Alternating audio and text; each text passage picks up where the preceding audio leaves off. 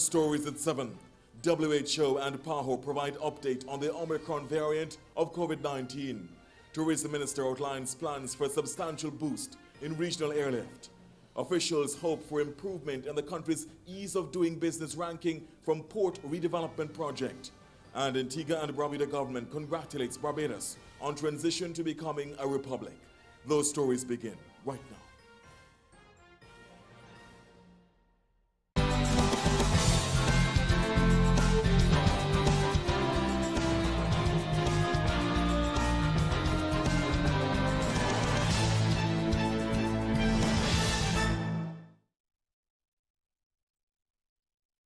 The local evening news is brought to you by Nagico, local agents Bryson's Insurance. Hello, good evening. You're tuned with the ABS Evening News. A warm welcome on this Monday. My name is Garfield Burford. Thanks so much for joining us. And I'm Sequoia Servia. Thank you so much for joining us. Now, local officials are at this hour continuing to closely monitor the new variant of COVID-19, Omicron. That's right. Director of the Pan American Health Organization, PAHO, Dr. Carissa Etienne, says the variant's mutations suggest its behavior at the clinical and epidemiological level differ from other COVID-19 variants. Dr. Etienne explains research is ongoing to ascertain the variant's transmissibility, severity, and the symptoms associated with infections of the variant. The Pan American Sanitary Bureau is urging regional governments to accelerate their vaccination efforts. Well, the PAHO director also reminds the populace that vaccination in combination with adhering to COVID-19 safety policies is the region's best defense against further spread. She encourages regional governments to continue reporting new cases and case clusters. In order to enhance the region's surveillance of COVID-19, she also advises genome sequences and testing samples be shared with the Genomic Surveillance Network of the Americas. She made the comments while writing to Antigua and Barbuda's ambassador to the Organization of American States, Sir Ronald Sanders. We'll, of course, follow this story and keep you across it as it unfolds. Meanwhile, World Health Organization uh, Director General Dr. Tedros Adhanom Ghebreyesus warns that the emergence of the heavily mutated Omicron variant of COVID-19 is a reminder the pandemic is not over. We're living through a cycle of panic and neglect. Hard-won gains could vanish in an instant. Our most immediate task, therefore, is to end this pandemic. Well, like most scientists, Dr. Tedros says it's not yet known if Omicron is associated with more severe disease, more risk of infections, or more risk of evading vaccines. Scientists at WHO and around the world are working urgently to answer these questions. Now, as Antigua and Barbuda sees an increase in international arrivals to the destination, the Ministry of Tourism says there will also be a substantial boost in regional airlift. Guadeloupe-based airline Air Antilles will increase its service offerings to the country in December. The airline will make its inaugural flight to the Twin Island nation on the 17th of December and will introduce new travel routes, including twice weekly flights from Barbados and St. Lucia. Air Antilles will also offer direct non-stop flight service twice weekly to Antigua and Barbuda from St. Martin. Tourism Minister, the Honorable Charles Fernandez, says the country is re-establishing itself as the heartbeat of the Caribbean. Officials are hoping for an improvement in the country's ranking on the ease of doing business report from the mega redevelopment project at Deepwater Harbor. Port manager Darwin Telemaque pointed to that objective as he provided ABS with an update on the project being bankrolled by a 90 million US dollar loan from China. Shana Keisha Francis recaps his comments on Antigua Barbuda today. Port manager Darwin Telemaque says work continues apace on the redevelopment of the cargo port at Deepwater Harbor. He says the project is set to be completed in the first half of 2022. We're on the last part of it. The, the berth one area is being redeveloped, or totally reconstructed actually. Um, it's being um, dug out and totally redone. Uh, that is the main berth that we use. That remains the final mar marine piece of work that ought to be done there. Meanwhile, he explains a further step will be made to improve efficiency in port and customs arrangements. Port manager and the customs controller will be in the same building right across the street, same space. Well, today, the comptroller is uptown, the port manager is at Dredge Bay.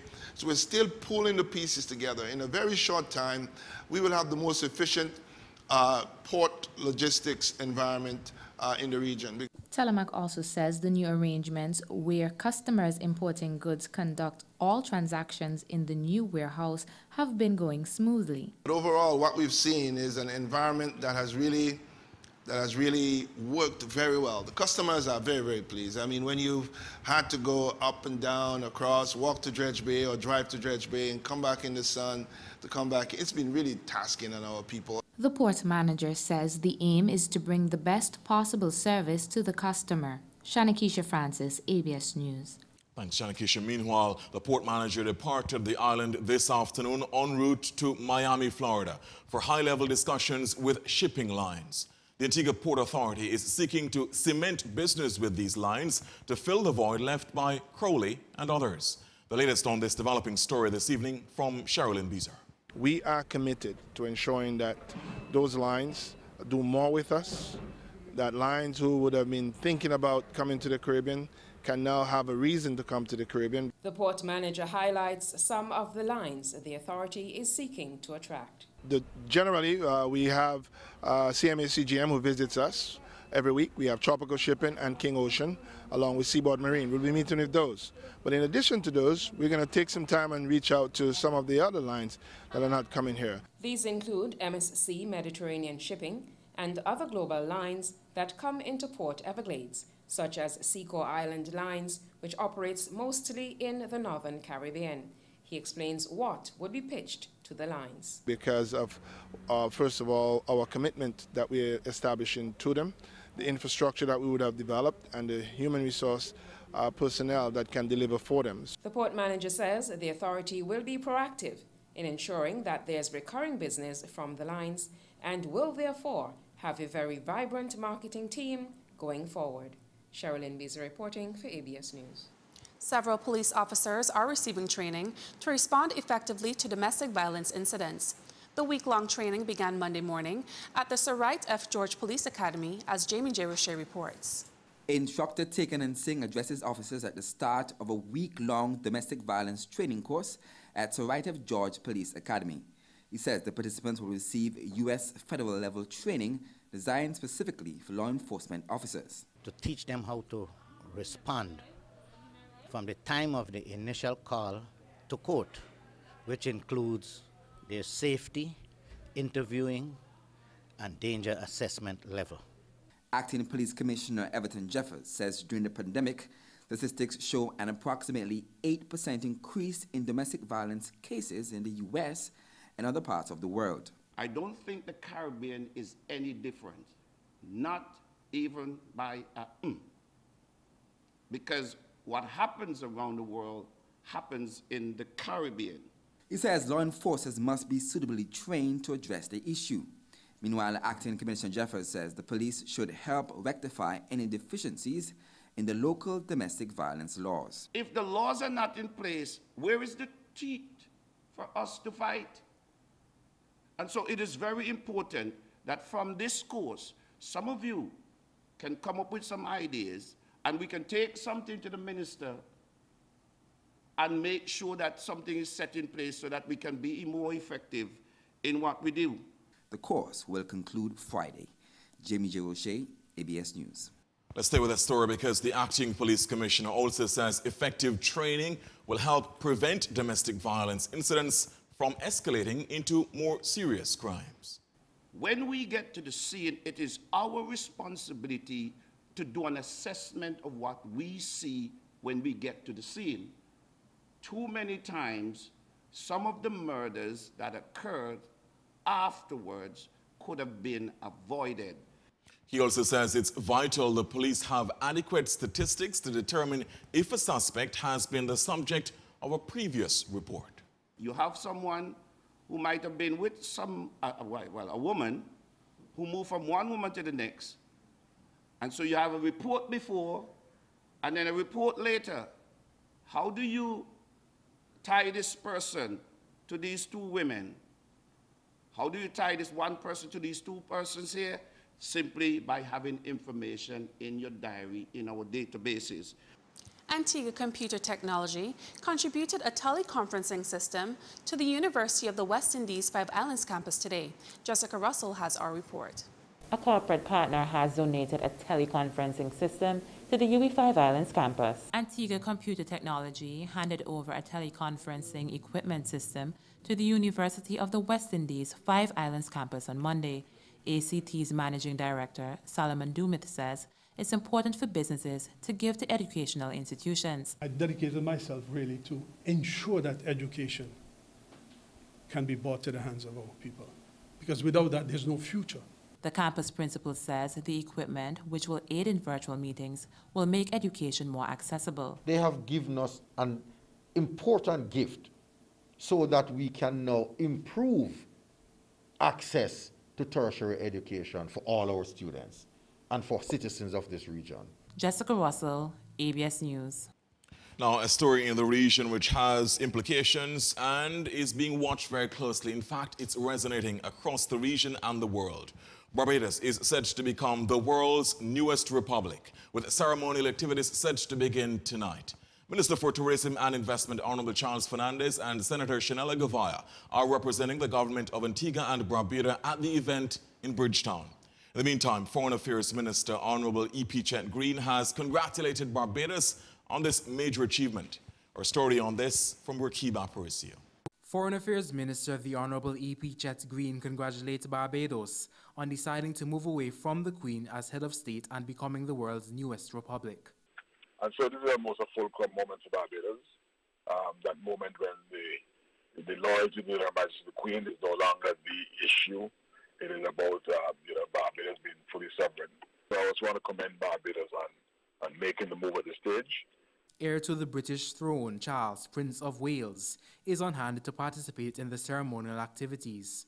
Governor General of Barbados, Dame Sandra Mason, will become the Republic's first president and replace the Queen as head of state.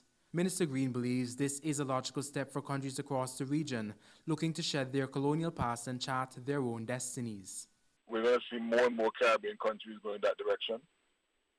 Um, the whole question of sovereignty, um, dropping the, the, the, the, the monarchy as head of state. It is something that's been talked about in the Caribbean since the independence movement. The latest move by Barbados is stirring discourse in constitutional monarchies across the region. But what of Antigua and Barbuda's future on this issue? The Foreign Affairs Minister says he is in favor of the country becoming a republic. However, he adds it is a long journey. You know, what they're doing there, what we will do here eventually, I'm, I'm, I pray I'm alive when it happens, we'll be taking our sovereignty one step further. And with that level of sovereignty, it calls for a level of responsibility on the part of the, of the citizenry. And so it, it is not a, a, a single, simple um, arrangement. Rakib Aparicio reporting for ABS News. And there's more on this story later on in the newscast and in fact later on on ABS television as well because join ABS television starting at 10.45 tonight for live coverage of those ceremonial activities which Rakib referred to, including the installation of Dame Sandra Mason as Barbados' first president. So in a few, uh, in a matter of a few minutes, she will move from representing Barbados' head of state to becoming Barbados' head of state. So a major development there in Bridgetown. We'll follow this closely for you. Again, live coverage starting at 10.45 tonight on ABS television of those ceremonial activities, the historic situation in Barbados where it moves from a constitutional monarchy to a republic. We'll also, of course, have much more from this in our regional segment of the news a bit later on. We'll be crossing live to Bridgetown. We'll be speaking with Lisa Broom a bit later on in our newscast from CBC. She'll be talking with us about the scene there, the mood of the country as they get ready to go towards a republic. In the meantime, when we come back from this break, more of the national stories we're following closely, including this one. Public official accused of rape. And later, more legal jeopardy for a man on remand at Her Majesty's prison. We'll explain. Upcoming on the ABS Evening News, on air and online. Stay with us, please. At Nagico, the things that matter to you matter to us.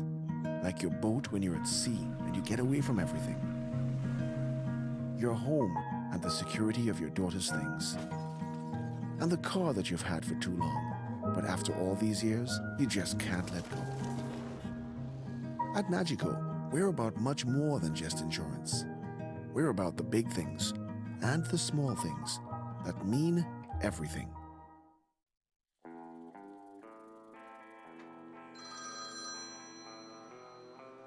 Vincent, I'll come in on there tomorrow. I hope you get the AC sorted out now.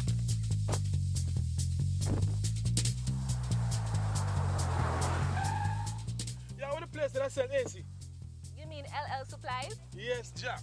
They moved. Oh, great Scott. Well, then gone now. Don't worry, they're not too far. They're just right up the road before Kennedy's. LL Supply Limited, your number one supplier for air conditioning and refrigeration parts, has now moved to a fresh and convenient location in order to serve you better. Visit us on Utility Drive, Cassada Garden, or call 562-6562. LL Supply Limited, we stock quality parts. Showtime shop at Quartz. We got all the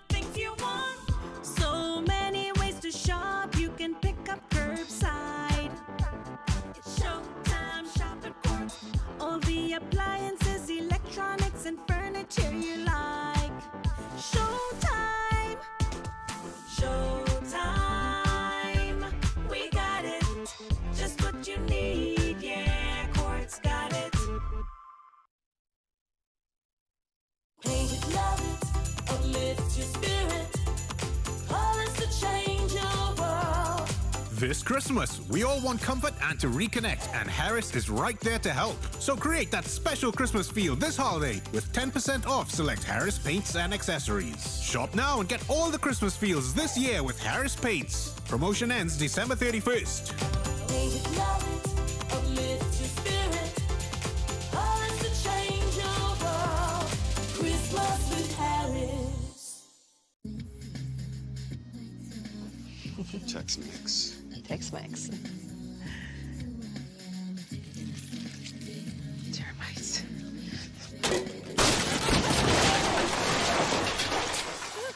Go back up! Hang on. I am hanging on. Don't mess up your deck with Tex-Mex. Terminix. Aye, the only way to nix it is to Terminix it. Open up, this at the time of the year. Flow come spread the Christmas cheer. To everybody, whether far or near. Flow make a Christmas sparkle around here. Did you hear that? Is it Santa? Enjoy double data and double minutes when you activate a 7 or XL 30 day always on plan. Plus, get a ZTE A3 for only $99 when you activate any 30 day always on plan. Visit discoverflow.co for more details. Conditions apply. Christmas you know? Make it happen with Flow. The best experience in life is feeling valued, appreciated, and heard. To know you have a team you can depend on when you need them the most. You too can depend on us at Automotive Art. You are more than just a customer, you are family. We hope when you're shopping this Christmas, Automotive Art is a top of mind. We're always thinking of you and your car. Join our family on Facebook and Instagram at Automotive Art Antigua or WhatsApp at 720-7211 for all of your Christmas deals and discounts. Automotive Art, the place to start.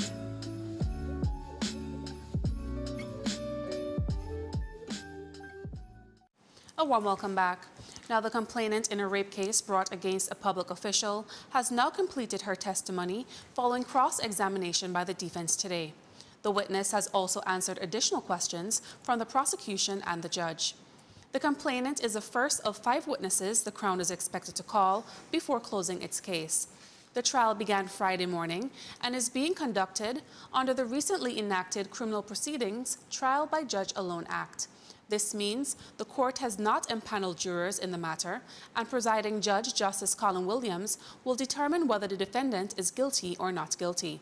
As per the Act, defendants charged with the sexual offenses must give consent before the case can be tried without a jury. The judge has restricted the media from revealing the details of the witnesses' testimonies before the case ends.